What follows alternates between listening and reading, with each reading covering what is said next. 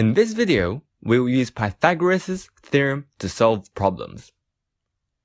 Remember that Pythagoras' theorem tells us that in a right angle triangle, as shown in the diagram here, a squared plus b squared equals c squared. Knowing this formula, we can find out the length of any side of a right angled triangle as long as we know the length of the two other sides. Let me show this to you using two examples. In example 1, we have a right angled triangle with perpendicular sides of length 6mm and 8mm.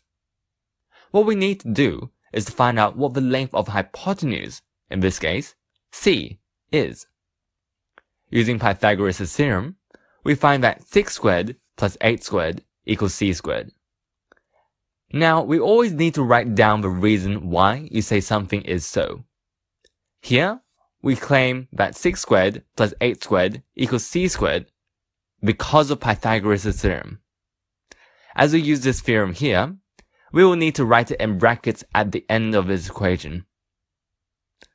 Then, solving this, we find that c squared equals 100. Since c is a length and must be positive, we now know that c is 10 millimeters. In other words, we found the length of a hypotenuse as 10 millimeters. Now in example 2, we have an imaginary map with two points on it, A and B. We are told that the distance between the two points is 13 kilometers. We are also told that point A is 5 kilometers east of point B. What we want to find out is how many kilometers north point A is from point B. Let us call this distance x kilometers. First, notice that as north and east are perpendicular, this forms a right angled triangle.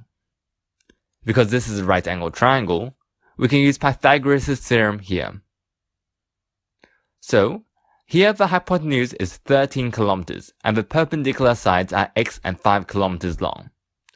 Hence, applying Pythagoras' theorem, x squared plus 5 squared equals 13 squared.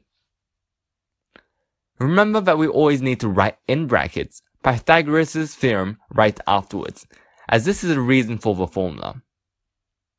Solving this, we find that x squared equals 144. Since x is a distance, we can say that x equals 12 kilometers, as x must be a positive number.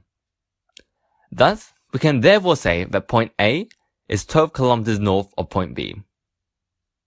Hopefully you now understand how to use Pythagoras' theorem to solve problems. Thanks for watching and see you in the next video.